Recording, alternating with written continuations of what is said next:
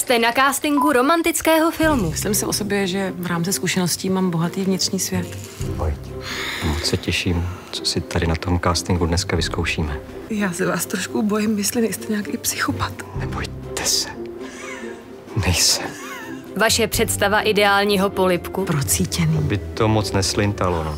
Prozraďte nám už tajemství českých lvů. Sílu českým lvům dává Magnézia.